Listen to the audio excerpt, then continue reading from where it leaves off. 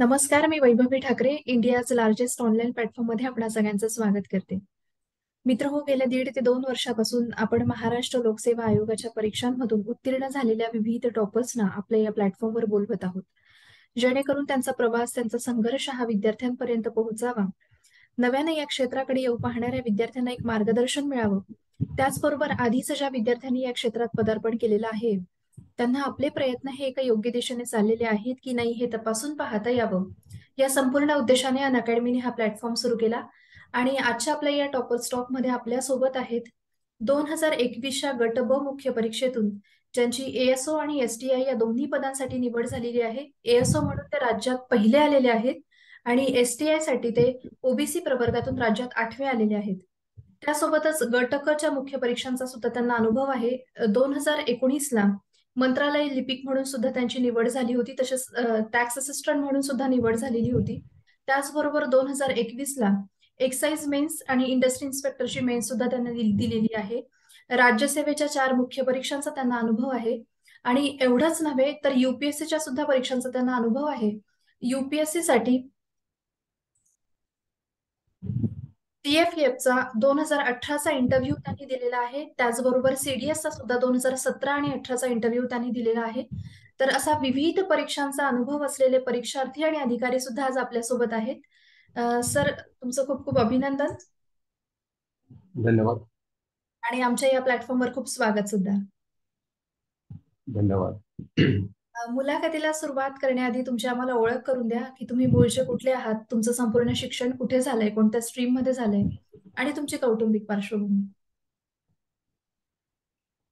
माझं नाव विशाल सुनील चौधरी.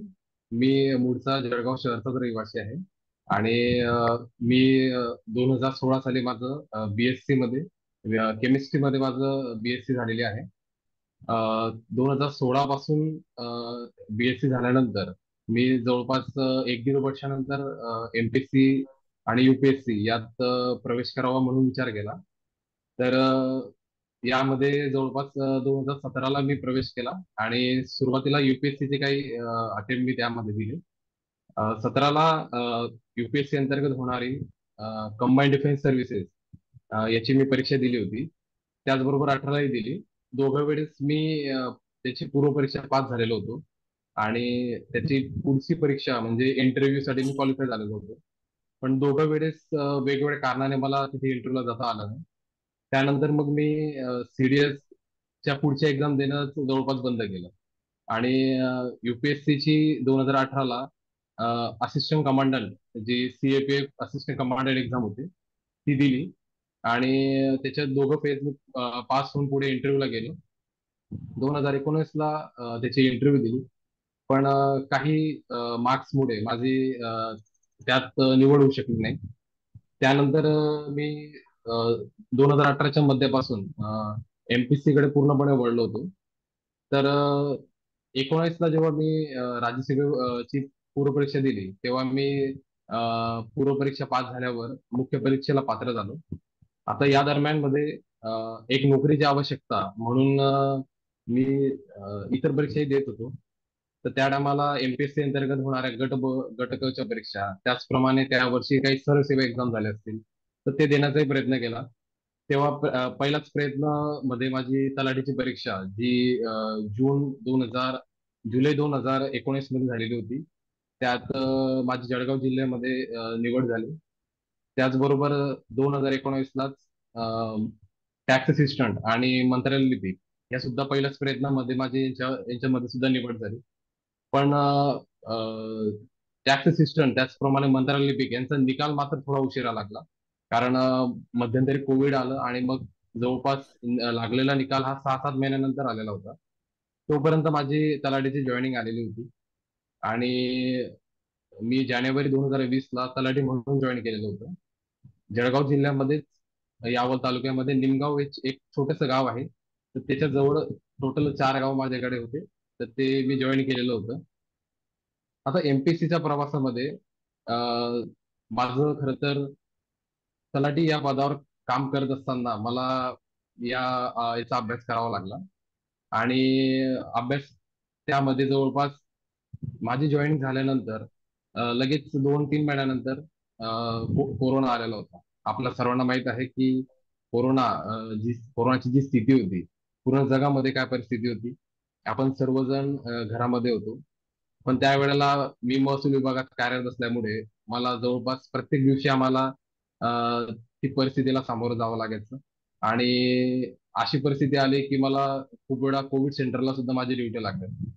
आणि कोविड सेंटरला सुद्धा ड्युटी करत असताना कोविड पॉझिटिव्ह लोकांना जवळून बघितलं. अशा परिस्थितीत कुठेतरी अभ्यास थोडाफार मला कॉम्प्रोमाइज करावा लागला. पण कालांतराने मग जसं जसं यामध्ये कोविडचा इफेक्ट कमी झाला त्यानंतर मग थोडा अभ्यासाला वेग दिला. पण शेवटी नोकरी करत असताना मी माझ्या घरून जळगाव शहरवरून रोज अपडाऊन करायचो. तेही बाईकवर करायचो कारण त्या गावापर्यंत जायला मला स्ट्रेट रूट असा कोणता नव्हता. म्हणून मला माझ्या बाईकवर रोज जवळपास नव्वद ते शंभर किलोमीटर प्रवास करावा लागायचा. तर हा प्रवास करत असताना जिथे वेळ भेटेल तसा अभ्यास करायचो. पेपरालाही मला सुट्या वगैरे जे आहेत ते मुख्य परीक्षेच्या वेळेस आमचे जे काही वरिष्ठ होते आमचे तहसीलदार साहेब यांनी मदत केली मला आणि सुट्या वगैरे द्यायला त्यांनी सुद्धा काहीच मला अडचण झालेली नव्हती यामध्ये. त्याचबरोबर माझ्या सहकाऱ्यांनी यामध्ये मला मदत केली आणि हा अटेम्प्ट जो मी दिला एएसओ आणि एस टी आयचा खरं तर ही पहिलीच मुख्य परीक्षा माझी होती एएसओ ची आणि एस आयची तर पहिल्याच अटेम्प्टमध्ये हे यश मला मिळालंय. छान. खूपच इन्स्पायरिंग असा तुमचा प्रवास आहे. सर माझा पुढचा प्रश्न असा आहे की आता जसं तुम्ही सगळ्या परीक्षांचा उल्लेख केलेला आहे की गट क पासून तलाठी या पदापासून ते अगदी युपीएससी पर्यंतच्या सगळ्या परीक्षांचा तुम्हाला अनुभव आहे. तर बऱ्याच वेळा हो. नवीन विद्यार्थी जेव्हा या क्षेत्रात येतात तर तेव्हा त्यांना प्रश्न असतो की ह्या एवढ्या सगळ्या परीक्षांची आम्ही सोबत तयारी करू शकतो का? तर आता प्रश्नाचं उत्तर तर तुमच्या प्रवासातून मिळालंय की हो करू शकतो. पण कशी करायची तर त्याबद्दल तुम्ही काय सांगाल? खर तर जेव्हा आपण स्पर्धा परीक्षेमध्ये प्रवेश करतो तर त्यावेळेला मात्र आपण कोणती तरी एकच एकदम फोकस करायची असते. आणि आपला पूर्ण शंभर टक्के आपण त्या एक्झामला द्यायचा. जवळपास आपण दोन एक दोन अटेम्प्ट दिल्यानंतर मग आपल्याला जर त्यात यश नाही मिळालं त्यानंतर मग आपण इतर परीक्षांकडे सुद्धा आपण वळू शकतो. मात्र आपली फोकस केलेली जी एक्झाम असते त्याचाच परिपूर्ण अभ्यास करायचा आणि त्याच बरोबर इतर परीक्षा आपण जर दिल्या असतील तर यश मात्र आपल्याला नक्की मिळतं. कारण आपण जेव्हा एक एक्झाम फोकस करतो तेव्हा शंभर टक्के त्याचा सिलेबस आपला कंप्लीट झालेला असतो. आता मी राज्यसेवा ज्या टायमाला केलेली होती राज्यसेवा फोकस करत असताना जवळपास राज्यसेवा प्री किंवा राज्यसेवा मुख्यचा सिलेबस माझा झालेला होता. आणि त्यानंतरच माझ्या मी जेव्हा गट एक्झाम दिल्या असते किंवा गट बच्या एक्झाम दिल्या तर मला विशेष त्यासाठी काही करावं लागलं नाही. आणि ऑटोमॅटिकली माझा त्यामध्ये रिझल्ट आलेला दिसून येतो. ओके. म्हणजे फोकस करताना एकच एक्झाम करायची पण त्या दरम्यान येणाऱ्या वेगवेगळ्या परीक्षा आपण देऊ शकतो. त्यातला कॉमन सिलेबस तुमचा ऑलरेडी कव्हर झालेला असतो. सर आता आपण ऍक्च्युअल एक्झाम पद्धती आणि तुमची अभ्यासाची स्ट्रॅटेजी या गोष्टींवर डिस्कस करूया. तर गट ब मध्ये मला स्पेसिफिकली असं विचारायचं की करंट अफेअर्स सुद्धा इन्क्ल्यूड असतात पूर्व असेल किंवा मुख्य असेल. तर ह्या करंट अफेअर्सची तयारी कशी करायची? त्याची काठिण्य पातळी कितपत असते? म्हणजे त्याचा जो अप्रोच किंवा पर्स्पेक्टिव्ह आपण म्हणू शकतो तो राज्यसेवेसारखाच असतो की काही वेगळा असतो? तुम्ही काय सांगाल त्याबद्दल? आता जे वेगवेगळे विषय आपण बघतो आपल्या कंबाईंड ग्रुप बी मध्ये किंवा ग्रुप सी मध्ये आता त्याबाबत आपण आपला व्ह्यू थोडाफार आपला चुकलेला दिसतो. करंट चालू घडामोडी हा जो विषय आहे हा बहुतेक वेळा मुलांना असं वाटतं की यामध्ये मार्क्स येत नाही पण आपण जर त्यामधील जे चुका आपण करतो त्या जर सुधरवल्यात जसं की आपण काही मुलं कंबाईनचा अभ्यास करत असताना सुद्धा पेपरला खूप वेळ देतात. म्हणजे न्यूज पेपरला खूप वेळ देतात. आता खर तर न्यूजपेपरचा उपयोग हा डिस्क्रिप्टिव्ह पेपर जिथे आहे तिथे जास्त करून होतो. किंवा त्यानंतर इंटरव्ह्यूला आपला त्याचा उपयोग होतो. त्या व्यतिरिक्त पेपर मला वाटते की चालू घडामोडीसाठी तरी नको वाचायला. आपण चालू घडामोडीचा अभ्यास करत असताना एकच कोणता तरी सोर्स किंवा एकच आपण मॅगझिन जर घेतलेली असेल आणि ती जर परिपूर्ण करत असणार तर आपल्याला स्कोर येताना दिसेल. मॅगझिनमध्ये सुद्धा जर शंभर पेजेस असतील तर त्यातले जवळपास तीस चाळीसच पेजेस आपले कामाचे असतात. म्हणजे काय तर इतर आपल्या एक्झामला न येणारे काही टॉपिक सुद्धा त्या मॅगझिनमध्ये असतात. तर आपल्याला ते साईडला करून फक्त महत्त्वाचे टॉपिक त्यातनं वाचायचे आहेत. आणि तेच रिवाइज करायचे तर आपल्याला नक्कीच त्यामध्ये चालू घडामोडीमध्ये स्कोर आला दिसून येईल. ओके. म्हणजे आपल्या एक्झामची डिमांड काय हे आपल्याला माहिती पाहिजे. त्याच्या अकॉर्डिंग आपलं कंटेंट आपण ऍड करू शकतो. सर माझा पुढचा प्रश्न असा आहे की ह्या संपूर्ण प्रवासात टेस्ट सिरीजचं महत्त्व किती आहे?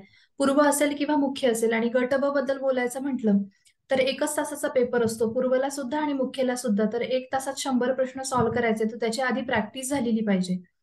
तर मग टेस्ट सिरीजचं महत्त्व किती आहे? त्याच्या स्कोरवर आपण किती ट्रस्ट करायला पाहिजे? बऱ्याच वेळा विद्यार्थी कमी मार्क्स आले तर फार नाराज होतात किंवा जास्त मार्क्स आले तर हुरळून जातात. तर तुम्ही काय सांगाल त्याबद्दल? खर तर कंबाईंड ही परीक्षा साठच मिनिटाची असते. त्यामुळे आपल्याला या साठ मिनिटांमध्ये जवळपास शंभर प्रश्न सोडवायचे असतात. म्हणजे इथे आपल्याला आपले प्रश्न सोडवण्याचा वेग हा खूप जास्त असायला पाहिजे. त्याचबरोबर आपले ग्रॅस्पिंग पॉवर सुद्धा चांगली असली पाहिजे. आणि ते तयार करण्यासाठी आपल्याला काही प्रमाणामध्ये स्वतःला टेस्ट करावं लागतं आणि ते आपण मॉक टेस्ट थ्रू करू शकतो. आता मॉक टेस्ट इथे सोडवणं आवश्यक आहे.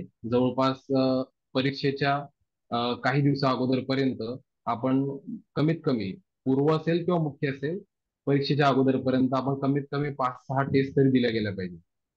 टेस्ट पेपरने आपल्याला या ज्या एक्झामला आपण फोकस करतोय त्या एक्झाममध्ये आपल्याला साठ मिनिटांमध्ये वेळेचं मॅनेजमेंट कसं करायचं आहे?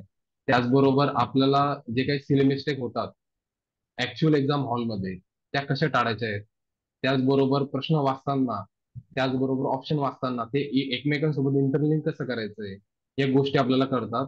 आणि प्रश्नांचं ओएमआर शीटवर टिक करणं त्याची अंमलबजावणी कशी करणं हे आपण नियोजन अगोदर करू शकतो. म्हणून टेस्ट पेपरचं नक्कीच महत्त्व यामध्ये दिसून येतं. आणि आपण सर्वांनी टेस्ट मॉक टेस्ट नक्कीच द्यायला पाहिजे. पण मॉक टेस्ट देताना आपण कुठेतरी टेस्ट सिरीज लावायला पाहिजे असं काही नाही. अनेक मार्केटमध्ये पीडीएफ अवेलेबल असतात. तर जस्ट आपण झेरॉक्स दुकानावर जाऊन तिथून प्रिंट काढू शकतो. आणि आपल्या रूममध्ये किंवा रिडिंगमध्ये जिथे आपण अभ्यास करत असतो तिथे आपण सोडू शकतो. ओके सर माझा पुढचा प्रश्न हा मुख्य परीक्षे संदर्भात आहे.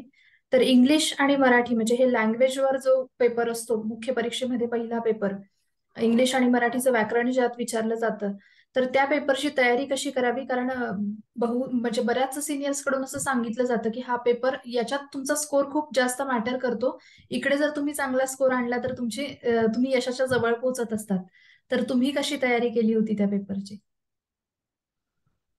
आता इंग्लिश मराठी हा पेपर लँग्वेज पेपर हा कंबाईंड एक्झाममध्ये खूप महत्त्वपूर्ण आहे. माझे जर आपण एक्झाममध्ये माझे रिझल्ट बघितले तर मला पहिल्याच पेपरला म्हणजे लँग्वेजला चांगले मार्क्स आहेत. त्यामुळेच माझा हा स्कोर बूस्ट झालेला होता. खरं तर माझी एक्झाम ज्या टायमाला होती माझी ड्युटी चालू असल्या कारणाने मला त्या टायमाला सुट्टी मिळत नव्हती. आणि शेवटी शेवटी जवळपास पंधरा एक दिवस बाकी असताना मला सुट्टी मिळाल्या होत्या. तर मला कमीत कमी पुस्तकं वाचून जास्तीत जास्त आउटपुट कसा येईल याकडे माझं लक्ष होतं. म्हणून मी जास्तीत जास्त वेळ हा पीवायक्यू वर दिलेला होता. इंग्लिशला तर मला अशी वेळ आली होती की मला पुस्तक वाचायला सुद्धा वेळ वेळ मिळाला नव्हता. म्हणून मी एक पीवायक्यूचं अनालिसिस पुस्तक घेतलेलं होतं. आणि जवळपास तेच अनालिसिस करून मी पेपर दिलेला होता. तर त्यानंतर मला एक जाणवलं की आपण विद्यार्थी हे सहसा करून पुस्तकच फक्त जास्त वेळ वाचत असतात. पुस्तक वाचून पेपरला डायरेक्ट जातात.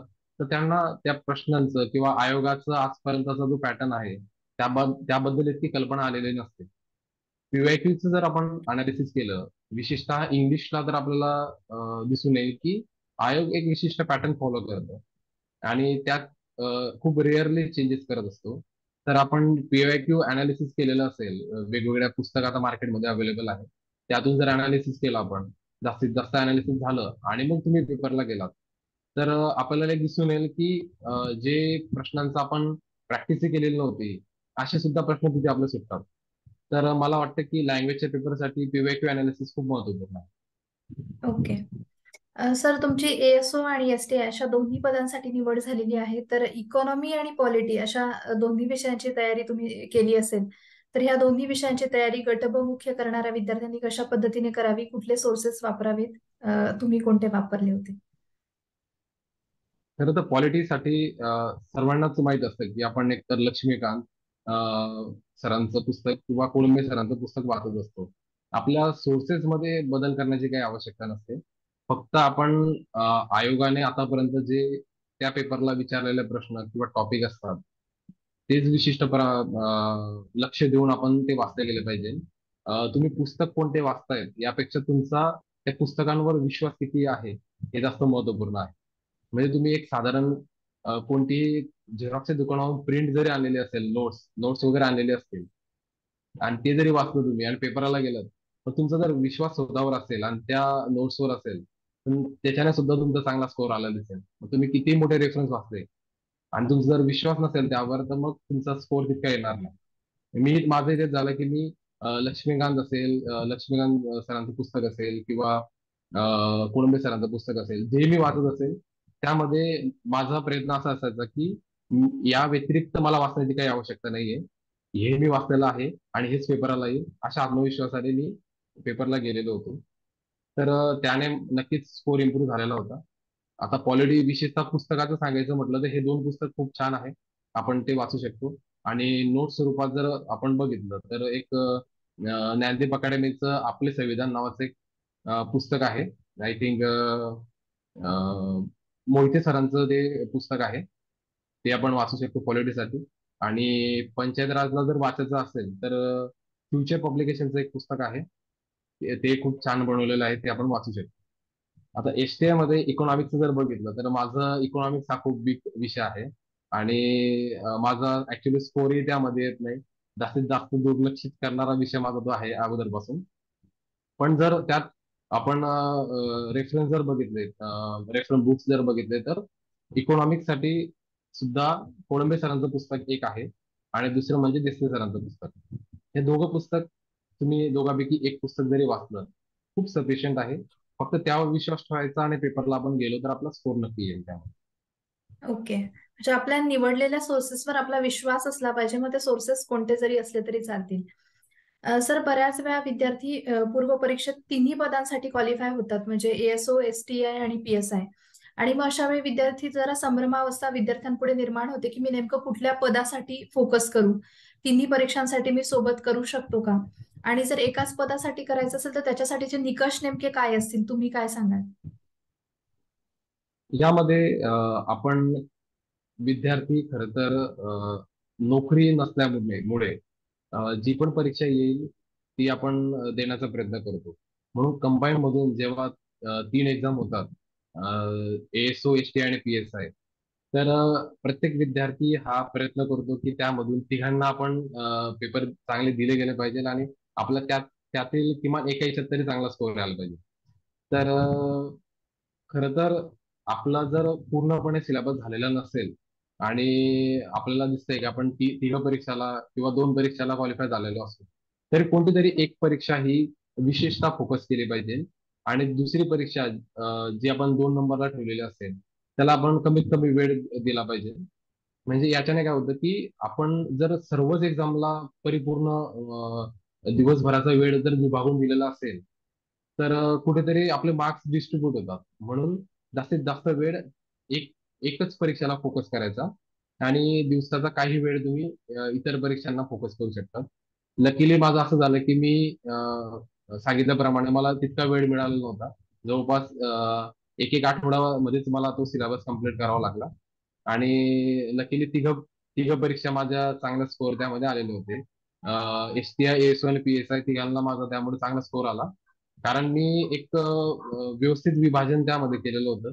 की मला कोणत्या विषयांना आणि कोणत्या एक्झामला व्यवस्थित टार्गेट करायचं आहे. दुसरी किंवा तीन नंबरला ठेवलेले एक्झाम आहे. त्यांना मी किती वेळ दिला पाहिजे याचं आपण मॅनेजमेंट करायला पाहिजे ओके. सर मुलाखतीच्या शेवटाकडे येताना मला तुम्हाला विचारायला आवडेल की बऱ्याचदा विद्यार्थी मोठ्या पदांसाठी अस्पायर करत असताना म्हणजे अगदी आता तुमचं सुद्धा उदाहरण घेतलं तर तुम्ही युपीएससी पर्यंतचे इंटरव्ह्यू दिलेले असताना म्हणजे कुठेतरी त्या प्रवासादरम्यान तलाठी पद सुद्धा स्वीकारलेलं आहे. तर याच्या पाठीमागची भूमिका नेमकी काय आणि विद्यार्थ्यांना तुमचा काय सल्ला असेल? एक अभ्यास करत असताना आपल्याला दिसून येतं की पहिल्या अटेम्पमध्ये पण मुलं मुलांना यश मिळतं आणि काहींना आपण जवळपास सहा सात अटेम्प्ट दिल्यावर सुद्धा यश मिळत नाही. म्हणजे स्पर्धा परीक्षेमध्ये म्हटलं तर तितकी आपण निश्चितता आपल्याला दिसून येत नाही. आपण इतरांशी स्पर्धा करत असतो त्यामध्ये कुठेतरी आपल्याला इतरांपेक्षा सरस व्हावं लागतं. तेव्हा आपल्याला कुठेतरी यश मिळत असतं. आणि या दरम्यान आपण एक दोन अटेम्प्ट जेव्हा एखादी एक्झाम पूर्णतः फोकस करतो त्यात आपल्याला यश नाहीच मिळालं तर मात्र आपण त्याचबरोबर इतर संधी आपण बघायला पाहिजे. जसं की तुम्ही राज्यसेवा किंवा युपीएससी करत असणार आता युपीएससी हा पार्ट मी साईडला ठेवला तर राज्यसेवा आपण जर घेतली तर राज्यसेवा करत असताना एक दोन अटेम्प्ट आपण खूप प्रामाणिकपणे दिलेत. आणि तरी जर आपला चांगला स्कोर येत नसेल आपली प्री पास होत नसेल तर मग आपण त्याचबरोबर गट ब घटकाच्या परीक्षांकडे सुद्धा लक्ष दिलं पाहिजे. यात खरं म्हटलं तर कमीपणा वाटण्यासारखं काही नाहीये. कारण आजच्या कंडिशनला जॉब सिक्युरिटी हा सर्वात महत्त्वाचा प्रश्न दिसून येतो. आणि वाढतं बेरोजगारीचं प्रमाण यामुळे विद्यार्थी अक्षरशः शिपाईच्या पदाला सुद्धा फॉर्म भरत असतात. त्यांचं उच्च शिक्षण झालेलं असतं तरी सुद्धा. तर आपण पहिले स्टार्टिंगचे एक दोन वर्ष हे एकच परीक्षेला फोकस करायला पाहिजे. आणि त्यानंतर मग जर आपलं त्यात यश नाही मिळालं तर मग पॅरलली आपण सायमल्टेनियसली त्यामध्ये इतर परीक्षा सुद्धा आपण देऊ शकतो. जेणेकरून त्यात आपण सेटल झाल्यानंतर मग इतर वरच्या परीक्षा सुद्धा आपण देऊ शकतो. ओके.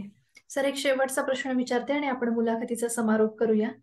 आता बऱ्याच साऱ्या परीक्षांचा तुम्हाला अनुभव आहे तर ह्या अनुभवातून तुम्हाला जे काही शिकायला मिळालंय तर ते विद्यार्थ्या त्या माध्यमातून तुम्ही विद्यार्थ्यांना काय सांगाल? की कुठल्या चुका विद्यार्थ्यांनी प्रिपरेशन दरम्यान पण टाळल्या पाहिजेत आणि पेपर सॉल्व्ह करताना पण टाळल्या पाहिजेत? या स्पर्धा परीक्षा क्षेत्रामध्ये मी प्रवेश केल्यानंतर मी खूप वेळ अभ्यासाला द्यायचो स्टार्टिंगला त्यावेळेला मी नोकरीलाही नव्हतो. तर मला एक जाणवलं की आपण खूप वेळ अभ्यासाला देत असतो. कुठेतरी आपण आपला व्यक्तिमत्व विकास थांबवलेला असतो आणि फक्त पूर्ण वेळ हा अभ्यासाला देत असतो. ज्यामध्ये आपण आपले मित्र परिवार असतील किंवा आपले कुटुंब असेल याकडे कुठेतरी आपलं दुर्लक्ष होत असतं. आणि पूर्णतः आपण अभ्यासाला वेळ देतो. आपल्याला स्टार्टिंगला यश नाही मिळालं तर त्यानंतर आपण नैराश्यामध्ये खूप लवकर जातो.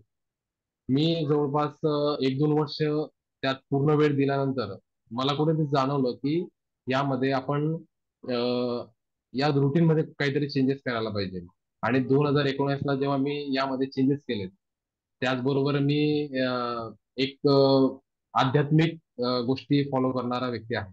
तर मला त्या गोष्टीचा एक फायदा असा जाणवला की अध्यात्म असेल किंवा आपले मित्र परिवार असेल आपले कुटुंब असेल यांच्या सोबत आपण वेळ देत आपण जर अभ्यास केलेला असेल तर आपल्याला अभ्यासाचं बर्डन कमी येतं. आणि बर्डन कमी झाल्यामुळे आपण कमी जरी अभ्यास केला तरी आपल्याला त्याचा आउटपुट खूप छान भेटतो. आणि मला दोन हजार एकोणीसपासून सतत मी कोणतीतरी परीक्षा पास होत गेलो. याचं कारणच ते होतं की मी अभ्यासापेक्षा जो वेळ मी जास्तीत जास्त वेळ करण्यापेक्षा जितका वेळ पण अभ्यास करणार तो प्रामाणिक होईल. आणि इतर वेळ मी माझ्या व्यक्तिमत्व विकासावर एक्सरसाइजवर कुटुंबासोबत वेळ घालवण्यावर याच्यामुळे आपल्याला आपला आत्मविश्वास सुद्धा बुस्ट होतो. आणि आउटपुट आपला चांगला येतो. म्हणजे यामध्ये स्पर्धा परीक्षेचा अभ्यास म्हणजे स्वतःवरचा आत्मविश्वास. हे एकच सूत्र आहे याच्यामध्ये. तर आपला आत्मविश्वास आपल्यावर जास्त असणं गरजेचं आहे. तुम्ही जास्त वेळ द्यायला पाहिजे असं काही ओके. विद्यार्थी मित्र हो विशाल चौधरी सरांनी आपल्याला खूप छान असा सल्ला दिलेला आहे की अभ्यासाबरोबरच तुमच्या व्यक्तिमत्व विकासाकडे तुमचं दुर्लक्ष होता कामा नये. कारण मग ते तुमच्या एकूण एक परफॉर्मन्समध्ये रिफ्लेक्ट होत होणारच आहे कधी ना कधी.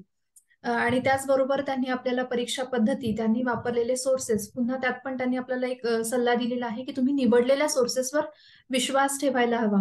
त्यांनी कुठले सोर्सेस वापरले होते त्यांची परीक्षा पद्धती कशी होती? त्याचबरोबर काम करत असताना त्यांचा तलाठी पदाचा अनुभव कोविड काळातला अनुभव सुद्धा त्यांनी आपल्यासोबत शेअर केलेला आहे. आणि काम करत असताना त्यांनी अभ्यासाचं नियोजन कसं केलं? आणि त्यानंतरच्या सगळ्या परीक्षा ते पूर्व मुख्य पास होत गेले. हा सगळा प्रवास त्यांनी आपल्यासोबत शेअर केलेला आहे. सर तुम्ही आमच्या प्लॅटफॉर्मवर आलात. तुमचा अमूल्य वेळ तुम्ही आम्हाला दिलात. त्याबद्दल तुमचे खूप खूप आभार. आणि तुमच्या पुढील वाटचाली सन अकॅडमीकडून खूप शुभेच्छा. धन्यवाद.